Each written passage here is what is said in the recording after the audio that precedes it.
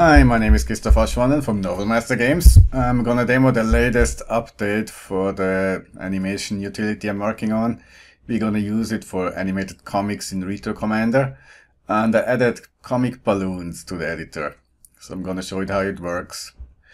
Um, basically here I have opened the animation that's already done, but without the comic balloons. And I'm gonna try to add them now. You see the reporter talking.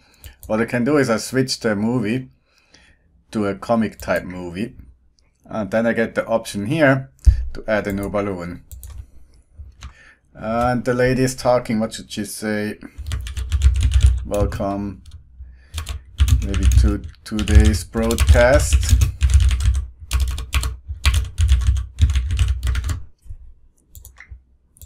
Here, and then we can move the balloon to her mouse.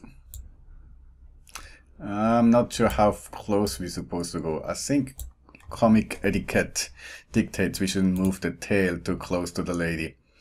So that's what she's talking. Welcome to today's broadcast. Maybe we can add another balloon and merge it together with the other balloon. Um,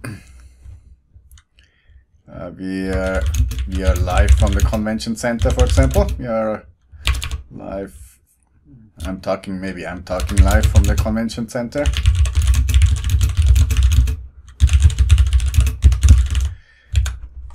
And here we got the second balloon, voila.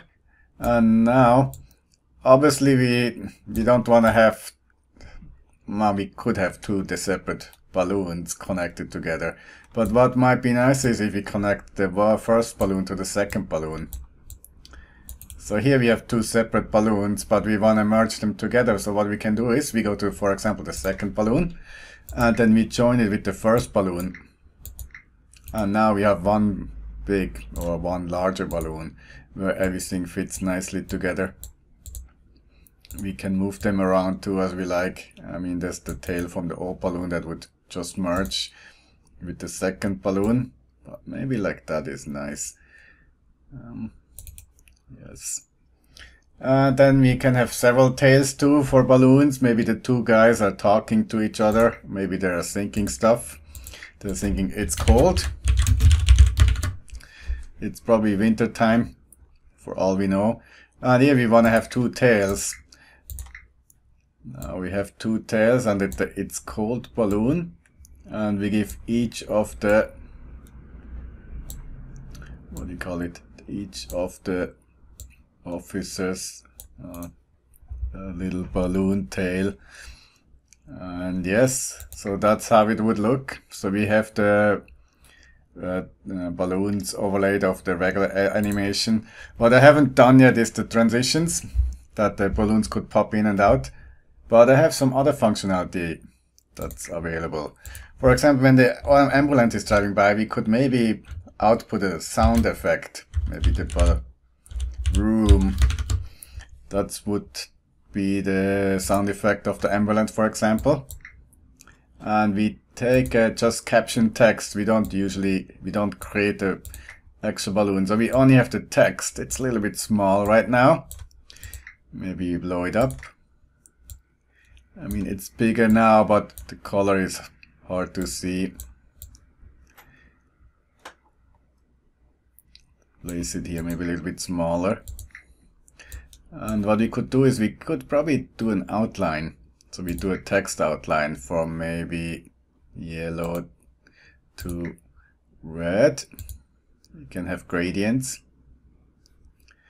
You need to make it a little bit smaller to get the gradient properly working. And also we set the inside of the text to transparent. So now when the ambulance is driving by, we output the broom effect. And what we can do is we can start it at different times and end it at different times. So the effect would only show up when the ambulance is driving by. I know it's not, it's not great how I'm doing that here. Also the transition is missing. It should pop in and out. What we can do is, what we can do is we can actually add effects to the text. Here we have a list of effects. So one could be we have shaking text. So what we do is we simply and close the text into the corresponding wipe tags. And now the text will be shown as shaking. And the text disappears once uh, the ambulance is gone. So the text only shows when the ambulance is passing through. And yes, that's it. Uh, we can also have the text in the balloons with different colors. We can have gradients.